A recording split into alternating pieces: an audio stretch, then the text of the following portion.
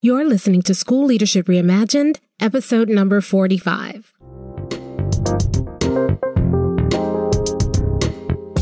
Welcome to the School Leadership Reimagined podcast, where we rethink what's possible to transform your school. If you're tired of settling for small wins and incremental improvement, then stay tuned to discover powerful and practical strategies for getting every teacher in your school moving towards excellence. Now, here's your host, Robyn Jackson. Hey, builders, welcome to another episode of the School Leadership Reimagined podcast. I'm your host, Robyn Jackson, and today we are going to be talking about the only four ways that you can actually influence teacher behavior. You know, when I was a new administrator, I came into my job gung ho. I had been an instructional coach. I thought, you know what? I'm going to go in here and I'm going to help teachers be better so that we can improve our school. And so I started to go into classrooms. I went through the whole training on how to give feedback and how to script when you were in classrooms and take all the notes and then come back and CEIJ my way into a post observation write up and then sit down with teachers and have those feedback conversations. But the problem was that those feedback conversations struck me as really false. It felt like more of a scripted choreographed dance than a genuine, authentic conversation. I would say, so how do you think the class went? And the teacher would say, I think it went great and kind of tell me why. Even if I didn't think it went great, I'd say, okay, that's interesting. Tell me more. And I try to ask these thought provoking questions so that teachers could be reflective. And they gave me these very scripted, inauthentic answers because how can you be reflective in a conversation with someone who holds the power to rate you and, and determine whether or not you're going to have a job next year? And it just felt so fake. And what was worse, when I went back into the classrooms, I didn't see much of a change. Even the teachers who genuinely engaged in those conversations and tried to make changes, a lot of times progress was really slow or they might make the change right after the conversation but then a couple of months down the line they've reverted to what they were doing before. You know it just felt like a really you know it almost felt like i was pushing a big rock up a hill and i'd make a few you know little progress and then you know do something else and the rock would slowly roll back down the hill and then i have to push it up the hill again. Has anyone else felt that way about feedback conversations and and, and changing teachers practice? You know you go in you give give them feedback. You, you, you, you're genuine. You want them to do better. This, they're genuine. A lot of times they want to improve too, but sometimes they don't improve. Sometimes they resist your feedback. Sometimes they apply your feedback, but it, like in a way that doesn't quite feel like what you intended. Sometimes they apply it perfectly and things look great. And then a few months later, they're back to doing what they were doing before. And it just seems like this exercise in futility. Yes, we have to do it. Yes, we have to be in classrooms, but you know, uh, do, how often do we really see big changes from our being in classrooms? How often do we really see progress happening, you know, staff wide? And so I just got really, really frustrated. And I thought that the problem was me. I thought that maybe I wasn't giving the right kind of feedback, or, or maybe if I asked more reflective questions. And so I got books and I went to workshops and they all kind of told me the same thing. You have to ask these reflective questions. You have to sit down and go through and you give them something, you know, you give them something praiseworthy and then you give them something, you know, to work on and you end with praise. And, you know, as a friend of mine calls it, kiss, kick, kiss feedback. You give them a kiss, then you kick them in the stomach and then you give them another kiss. And that just didn't feel right to me either what I wanted was an authentic conversation with teachers. What I wanted was, as a result of that authentic conversation with teachers, the teachers and I would partner together to improve what was happening in the classroom. I wanted the teachers to trust me. I wanted the teachers to see me as a real partner uh, to their growth. I, I, wanted them to to look forward to my feedback because it was supporting them rather than feeling threatened by my feedback. I, uh, I guess I was thought I was asking too much, and I was just because I wasn't getting anywhere. I was doing everything I was trained to do, and I wasn't getting anywhere. And then one day I was in a teacher's classroom and it was pretty awful. And, and the teacher was working really hard. This was what broke my heart It was awful, but the teacher was doing her best. She was trying so hard to do well with the kids. She knew that I was in the classroom that day. She was giving me her best performance. It just, it just wasn't cutting it. And so I sat down with the teacher afterwards. And I, well, before I sat down with the teacher, I sat down with my scripted notes and I was going through some things and I was just saying, you know what? By the time I was done, there was, there was this laundry list of things that the teacher was going to have to uh, do to improve. And I thought, this is, this is really unfair. There's no way that this teacher is going to be able to make all of these improvements by the time I come back next. And so I was sitting in the post observation conference with her and I was going through my, you know, reflective questions. How might you have? And I wonder about, and I'm curious, uh, you know, all the things that I was taught to do. And I could just see this teacher just get deflated, just feel defeated. And I went through all this laundry list and she was just kind of, I don't know, she was just, you could just see that she was giving up. She just felt, like she had given me her best and all I was doing was nitpicking at it. And I just couldn't take it anymore. I just said, you know what? I tell you what, all those things really happen. But in reality, the biggest, most important thing that you need to work on is this. If you work on this, all these other things will get fixed in time. And so rather than kind of, you know, chasing all these other things, just work on this one thing. This, I believe, is the root of why your class didn't work. And I saw her perk up. And she said, that's interesting. And, I, and so I started talking to her about why. And we, she got excited. She got engaged in the conversation. We talked about how we could change that. I said, for now, I just want you to work on that. If you just work on that between now and the time I come into your classroom in a couple of weeks, and if we can just see improvement on that, I bet that a lot of other stuff would change. Well, she left. That was that morning. That afternoon, I was in a meeting and she comes, you know, kind of uh, like she burst into my office and I was in there with somebody. She's, Oh, I'm so sorry. I didn't mean to interrupt. I did it and it worked. I just wanted you to know. I said, it worked. I got all excited. She said, it worked. I did it. It worked. And then she went back to her classroom that one thing was tangible to her. That one thing actually made all the difference and it gave her the momentum that she needed to start addressing some of the other things that were happening in her classroom. And from that moment on, I started getting more and more committed to one thing feedback. I started realizing that the more feedback you give a teacher, the more overwhelmed the teacher becomes. And if I could help the teacher figure out what is the one thing that they need to adjust in their classroom in order to improve, yeah, maybe that would make a difference. So I started giving teachers one thing feedback and I started seeing a change in the observation, post observation conversations because I was giving them just one thing to work on, one tangible thing. I helped make a case for why that was the one thing. And that was the conversation. Why this one thing versus that one thing. So rather than kind of sitting and passively receiving my feedback, now we're having this this interactive conversation where we're talking about what is the root? What is really going on? And how do we address that one thing? And, and how do we improve that one thing? And so teachers started walking out of those conversations feeling hopeful. I got this one thing. It had to be the most important thing. It couldn't be something superficial. It had to be meaningful. But when they made progress in that one area, the whole classroom changed. All these other things that I were noticing starting to improve. And no, they weren't perfect yet, but once they got the first one thing, then we they come back and we say, okay, now that that one thing's great and and settled, here's the next one thing, and here's the next one thing, and it it gave them hope and momentum, and it made them feel like the changes I was asking of them were actually doable and tangible and achievable. It changed the nature of the conversation.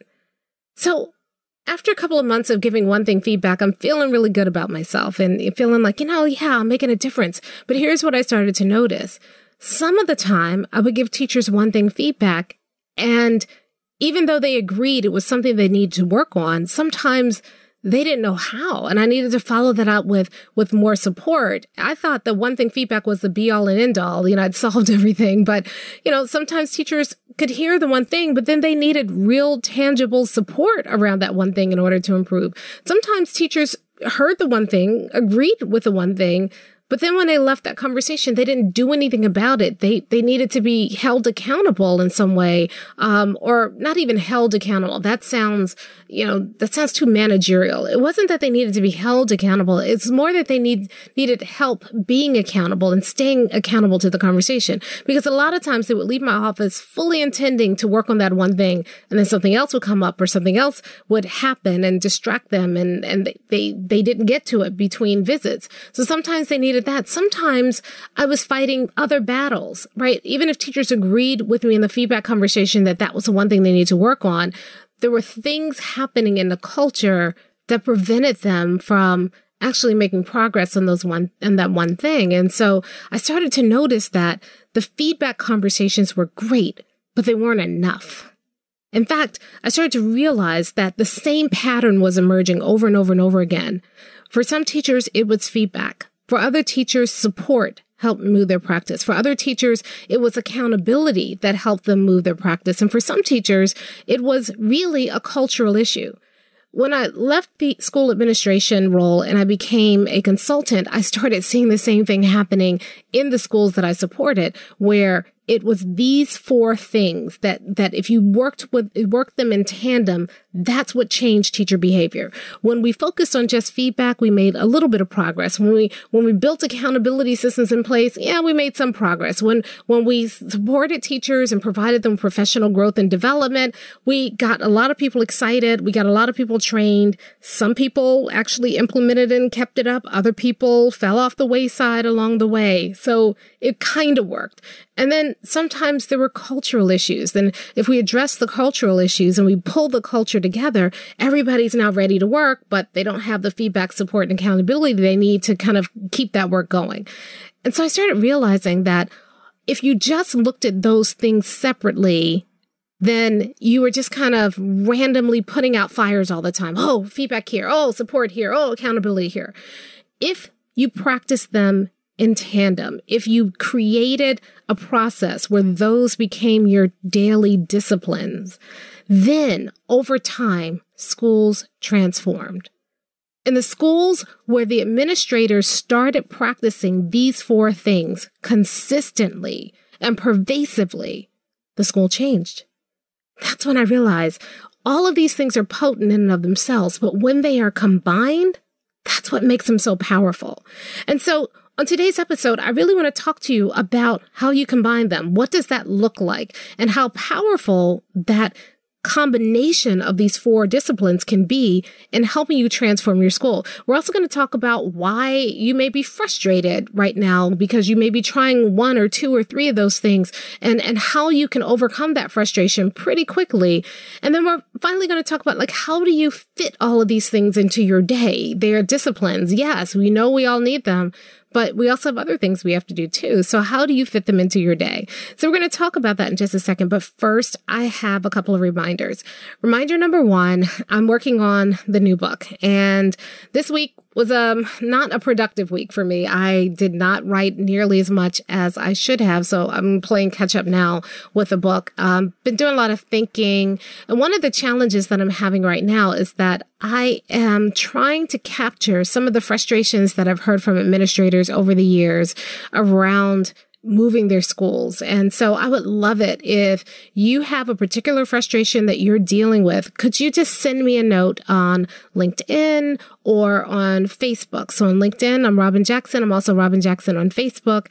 If you could send me just a little note and tell me what's your biggest frustration right now with regard to moving your school? What is, what do you feel is the biggest thing that's keeping you from transforming your school? And for those of you who have schools who are, you know, they're, you're already doing a great job, but you still feel this kind of sense of frustration because you really feel like your school could be doing better. I'd love to hear about that frustration too, because a lot of what we do at MindSteps is really around helping schools go from being good to great. In fact, some of our ideal clients are, are schools that are already pretty good, but somewhere in your heart, you know that your school could be better. And the challenge that you're having is that a lot of people are pretty satisfied with the status quo of your school. You've got some things that are working really well, but people don't feel the same sense of urgency that your school could be even better. You've gotten kind of, you know, stagnant in a way and everybody's working hard. Everybody does a great job, but you feel like they could be doing such a better job for kids. And so those are kind of some of our ideal clients. I'd love if you are in that situation, I'd love to hear from you a little bit more um, about just articulating that because I think that that's going to be a big part of one of the chapters I'm working on right now. And if that is you and you are feeling that frustration, I also want to invite you to come to Builders Lab because a lot of people come to Builders Lab are in your same situation. We don't really have a lot of people come to Builders Lab where their schools are just disasters. Um, they can't get away. They, they don't have the time. I think Builders Lab could help people who are in that situation too. It's just that most of the time people don't usually come to Builders Lab in that situation. People come to Builders Lab because they have something new that they're trying to implement in their schools and they want some support around making that work in their schools. Or they come to Builders Lab because they have this school that's kind of going okay, but they really want to take it to the next level and they are struggling to find a way to really create that sense of urgency to figure out what do we need to be working on right now. Our school kind of functions pretty well as it is, but I know it could be better, but I just, I don't really have a process for how we go from good to great those are the schools that that we typically have the biggest success stories with schools that are stuck in that you know right underneath greatness you know that you know it just takes just a little thing to push you over the edge and you're not sure what that thing is well i'm here to tell you that builders lab is that thing because three days. We work together. We take a good look at the school that you have right now. And the builder's blueprint is this super powerful tool that we use to kind of map out what your best next move should be. And a lot of times people come and they're like, oh, that's simple and I don't really need that. But then when they sit down and they go through the process, they realize that there are all these things under the surface that they hadn't been paying attention to that are huge factors in, in, in what their best next move is going to be. They start to understand why they're stuck and then they have a pathway to get unstuck. They also learn these disciplines that we're going to be talking about today. And uh, I'm getting a lot of feedback from people at Builders Lab right now who are starting to apply their disciplines, these disciplines in their schools at the beginning of the school year. And they're already reporting about what a huge difference it makes when you practice these disciplines in tandem. So if you are interested, we have one more Builders Lab this year and you need to be there. October is a great time to come because you have been in your school for a month or two by now. You kind of know what your challenges are going to be. You know what your role, your goals are for the year. And so coming and taking some time out at the very beginning of the school year to sit down, to map out your, your pathway, to figure out how to, to overcome some of the challenges that have started bubbling up so that you can see a dramatic difference this school year. I mean, think about it. You could be sitting in your office six months from now at the end of the school year and you could be looking at your school and saying, you know what? I didn't think we could do it, but this is an amazing, this surpassed everything that I thought we could do this year. You could have this amazing success story. So I'm inviting you to join us at Builders Lab. And to get your tickets, just go to mindstepsinc.com slash builders dash lab. That's mindstepsinc.com slash builders dash lab. And you can also give us a call in the office at 1 888 565 8881. That's 1 888 565 8881. Okay, so now let's talk about these four disciplines. Now, I've done episodes on the four disciplines before, each one individually. I've done episodes on feedback. I've done episodes on support. I've done episodes on accountability. I've done episodes on culture, and I'll make sure that I link to those episodes in the show notes. But I want to talk today about how they work together. You see, when you give a teacher feedback, you go in a teacher's classroom, you look at what's happening, you give the teacher one thing feedback that helps the teacher focus on what do I need to be doing right now to improve? What is the root cause of why my classroom is either working or not working? It doesn't matter whether the teacher's effective or not. You always want to give them root cause, one thing feedback. And then based on that one thing feedback, this is the thing I need to be focused on right now. But that's not enough. Just giving them that feedback gives them information maybe they're able to apply that information to improve their classroom, but in most cases, you, they need something else. So after you give them that feedback, you need to follow it up by giving them support around the one thing feedback. So not generic support, not just sending everybody to the same PD, but really focusing on what support does that teacher need in order to address the one thing that you told them that they needed to address in that one thing feedback? So now, not only are they giving, are you giving them the feedback that says, here's where you need to work, you're also setting them up to be successful in that area by giving them the appropriate support. Now, your support needs to be differentiated. You can't just, you know, kind of throw the same support at everybody. You need to look at where the teacher is and figure out how to best support the teacher where the teacher is, but you give them that support.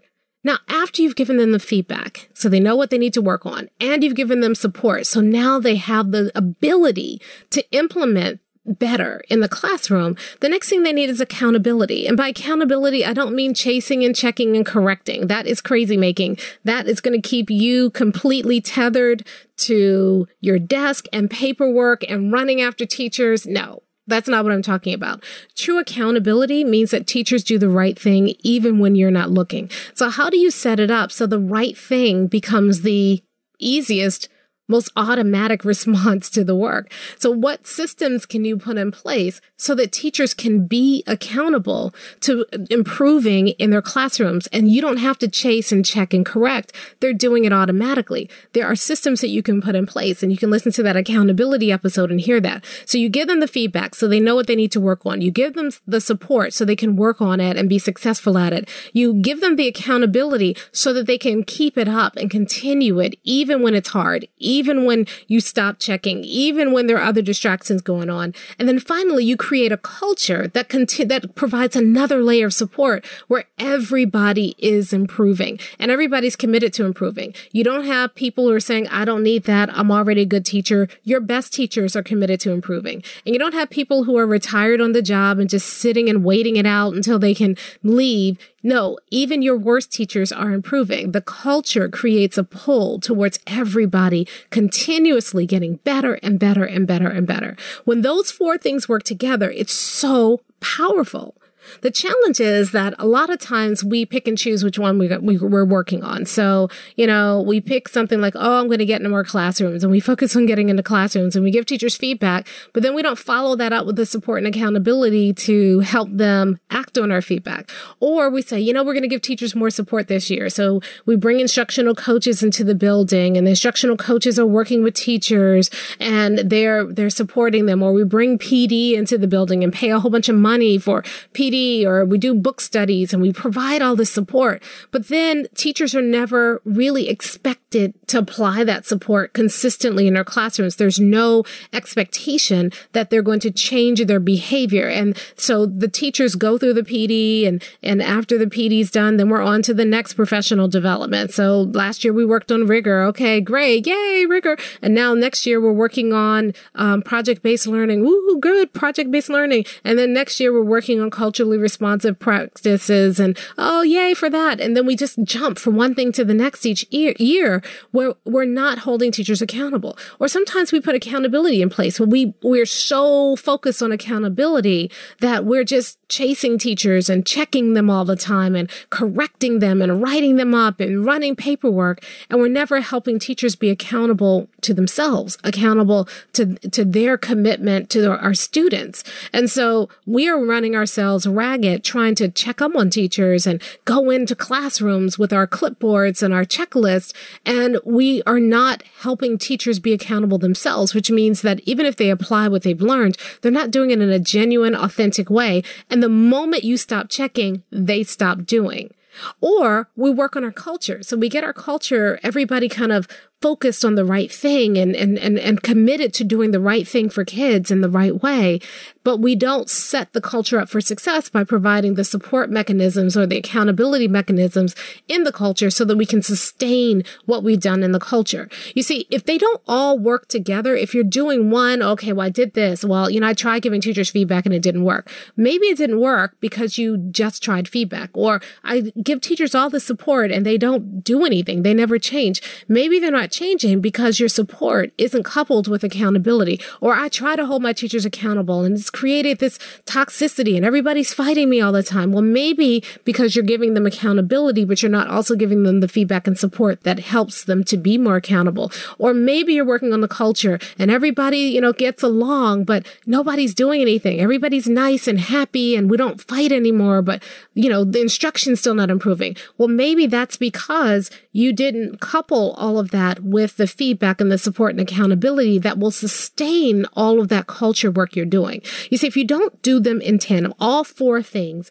together, if you're not practicing these disciplines as daily disciplines, then they're not going to make a significant change in your school. I've seen it. I've seen people do one thing or focus on this thing or that thing, and they're not practicing all four. They don't have systems in place to support all four. They're not consistently looking at, okay, how do I need to give them feedback? Okay, now that they've gotten the feedback, what kind of support do they need? People aren't kind of, are tracing this all the way through for teachers. And when you don't do that, that's, you're not going to change teacher behavior. The only way that you can have a significant impact on teacher behavior is you have to practice all for, and you have to make them disciplines. So here's what I mean about disciplines. A lot of times we say, yeah, I need to get in the classrooms more. And yeah, I'm put on my schedule next week and I'm going to try to get to it if nothing else happens. Or, you know, yeah, we really need to do support. So I know we've got two PD days a year. So I'm going to try to schedule some people to come in or, you know, maybe we'll do a book study once a month at our staff meeting or, you know, yeah, I know we got to do some accountable systems in place, but, um, we've, you know, I got to make sure I don't run run afoul of the union or, you know, yeah, I know we need to do some things for the culture. So maybe I'll get some donuts on the first day and then that's it for the whole year. We can't do these things haphazardly. They have to be a part of our daily discipline. In other words, whenever you go to work today, you need to figure out who needs feedback and how can I get it to them? Who needs support and how can I provide it? Who needs accountability and what system can I put in place to create a more accountable culture? And then what's happening in the culture and how do I make sure I keep the culture focused on the right thing? Every single day. What we do is we try to squeeze these things in as we can when there isn't a discipline problem or when there isn't paperwork being that's due or or when I don't have a parent coming in. No, these things go first. Every day, when you're looking at your day, was it successful or not successful? The only way you know is did you spend some time today working on getting teachers the right kind of feedback? Did you spend time today getting support to teachers? Did you spend time today being accountable and making sure that you have systems that help other people be accountable. Did you spend time today working on nurturing a healthy culture? If you don't do these four things every single day, if these four things are not at the top of your agenda every single day, they will fall by the wayside. And when these four things fall by the wayside, you lose your most powerful tool for influencing teacher behavior. Because let me tell you what doesn't work. Writing teachers up after the fact they didn't get the feedback, support, accountability. You didn't do anything about the culture. And then you're just frustrated with them because they're not working. And so you write them up. Well, have you done your part? Have you done everything that you could do to help that teacher be successful before you wrote them up. Here's what else doesn't often work. If you don't have these things in place, forget about putting a teacher in a performance plan because guess what? The teacher is going to do what the teacher does to improve so that they can get off the performance plan. And then the teacher is going to revert right back to what they were doing before because you didn't do the real work of changing that teacher's behavior. You see, we've been taught to do things that are band-aids they don't actually fix the problem. They, they sweep the problem under the rug or they mask the problem or they create more paperwork so it feels like we're doing something about the problem. But if you really want to solve the problem, the only four things you have available are feedback, support, accountability, and culture. And you can't just practice them when they feel good or practice them when you have time. They have to be daily disciplines.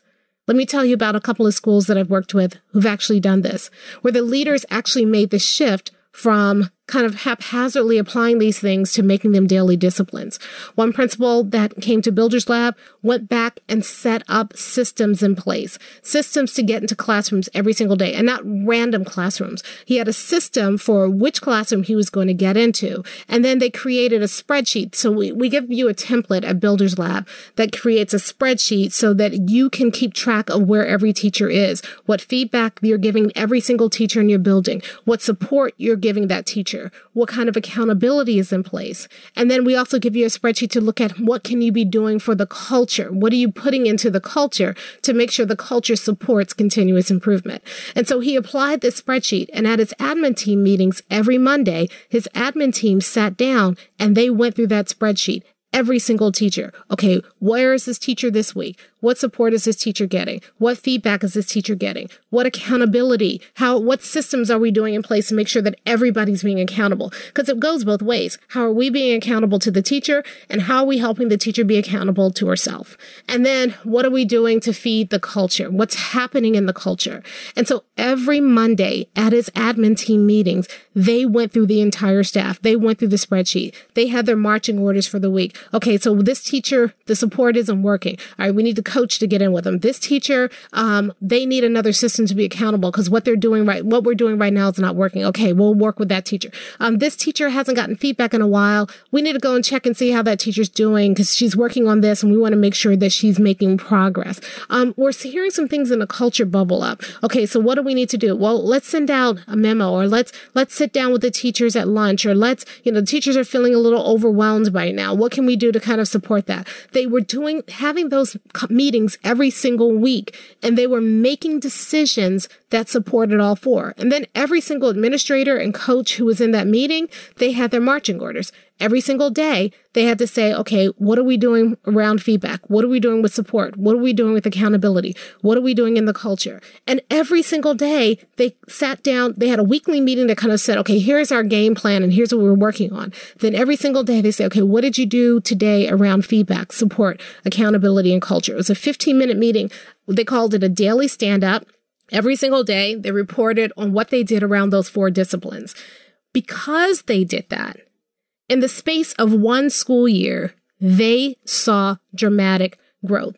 This is a school that was a C school. So they had already kind of made some changes to get them out of failure into C. But they were, they didn't want to be an average school. They felt they could be better. And so within one year, they went from being a C school to being an A minus school. Let me tell you what else happened. The culture dramatically shifted. When we went back to do focus groups with the kids, the kids said, I don't know what's, what's happening. This year is just different. We're learning so much more. We want to be in class. The teachers, when we did focus groups with the teachers, the teachers were excited about their work. They were excited about improving. Test scores were going up innovation was happening in all the different departments in this massive high school. The school was on the move because they practiced the discipline. They didn't do all these kind of band-aid fixes to try to move their school up in status or raise test scores, you know, where you work really hard for a little bit and then you see the gain. And then as soon as you stop working, the gain drops. These gains were permanent. And guess what else happened? Every teacher in this building went up one level on their evaluation instrument in a target area that year. Every single teacher saw progress. Now, people think that's unheard of when I tell that story, but that story is repeated time and time and time again when you practice these disciplines. It's not one thing or this thing. We're wearing ourselves out because we're only focusing on one or two or three. It isn't until you bring all four together that you really see the dramatic gains. So my question to you is this. What are you going to do this year to make these disciplines daily disciplines in your practice? Are you going to start the day, go into work and say, okay, before I do anything else, what can I do around feedback, support, accountability, and culture? Are you going to get together as an admin team and each week really focus on what did you do last week that worked? What do you need to do this week with regard to your staff? And then every single day reporting, where are we making progress on this? If you're just by yourself, what are you going to do each day? How will you arrange your schedule? In fact, you should be blocking off time in your schedule every single day for feedback, support, accountability, and culture every single day. And then when you get these interruptions, they have to wait because you have to do this work because this is the most important work that you do. You know, one of the challenges of being an administrator is that when you're a teacher, you have direct impact on students' performance. When you're an administrator, you have indirect impact. You have to get things done through other people. And we're wasting our time trying to, to chase and check and correct people or force people or drag people to the goal. Doesn't work. The tools that we have as leaders don't work. They don't change behavior. They create a lot of distrust. They create a lot of paperwork for us. They just don't work. What works instead is that you are consistently practicing these four disciplines every single day, all together, making them work together because when you have one thing, it may be powerful, but when you put them together so that there are four things that you're doing consistently and pervasively, you magnify the power of that tool. You make it so much more potent and amazing and strong. So I want to challenge you this week that as you're looking at your week, as you're thinking about your day, what could you do today to give people the feedback they need? What could you do to provide the right kind of support for people? What can you do to be more accountable or help others be more accountable? And what can you do to feed the right culture? You practice these things every day, and I promise you, you're going to see a change in your teacher's behavior this year. But you have to do them together. You can't just pick and choose. Oh, I'm only going to do feedback today. No, you have to practice them together every single day. And when you do, you will start to improve and change teachers' behavior because you're not just going in and randomly applying strategies. You are practicing real disciplines and you're doing it like a builder. All right, that does it for this episode, but I want to remind you to get your tickets to Builders Lab. If you're intrigued about how you practice these four disciplines, what you should be doing each day, how you kind of bring it all together, we teach you how to do that at Builders Lab. So when you leave, you actually have the system that you need to bring all these four things together, these four disciplines together and practice them on a day to day basis. And you can get your tickets for Builders Lab at mindstepsinc.com slash builders dash lab. That's mindstepsinc.com slash builders dash lab. You can also give us a call at 1 888 565 8881 if you want to order tickets. All right, let's talk about next time. This season, we're talking about the basics of buildership. And so next time we're going to shift. We've already talked about purpose. This time we've talked about how do you get your committed people. And next time we're going to talk about a pathway. We're going to talk about why it's really important to have a pathway and how to keep from working on the wrong thing. Because what I find when I'm working with people, a lot of times they'll pick an improvement measure or something they're going to focus on for the year and they've actually picked the wrong thing. So next time we're going to learn how to pick the right thing to work on at the right time. And you're going to learn how to do it, how to choose your pathway like a builder. I'll talk to you next time. Thank you for listening to the School Leadership Reimagined podcast. For show notes and free downloads, visit schoolleadershipreimagined.com. School Leadership Reimagined is brought to you by MindSteps Inc where we build master teachers.